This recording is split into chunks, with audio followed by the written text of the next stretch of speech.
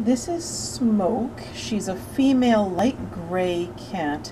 We're estimating her to be about three years old. She was found on 8th Street in Troy, New York. We think she had a home. We think she's lost. She's made her way to Noah's Kingdom Humane Society, where she's been vetted. She is up to date on her shots. She is fixed. And we're looking to uh, find her a forever home. So she came to our shelter, or I believe that we rescued her. I'm just going to check the paperwork here. Uh, December 29th, 2017. So if you know anybody missing a beautiful, friendly gray cat, um, she's here at Noah's Kingdom, located inside of PetSmart. We think this sweetie pie had a home because she's very loving. So Smoke is here at Noah's Kingdom awaiting a forever home. She is all gray.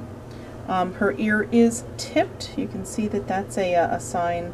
Can you see that? So this is the one ear, but the left ear uh, gets tipped when um, a cat is maybe uh, homeless, and you do that to signify that she has or he has been neutered and vetted.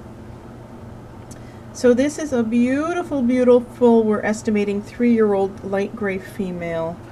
Very loving, very sweet, and we'd like to get Smoke a forever home. Again, Smoke was a stray in Troy, New York. She's now nice and warm and comfortable at our shelter, but we want to get Smoke a forever home. So please spread the word about Smoke and let's get her a forever home. Thank you and Happy New Year.